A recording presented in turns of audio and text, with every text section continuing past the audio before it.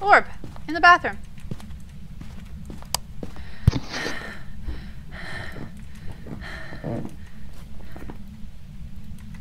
I'm officially saying it's a revenant. Oh god!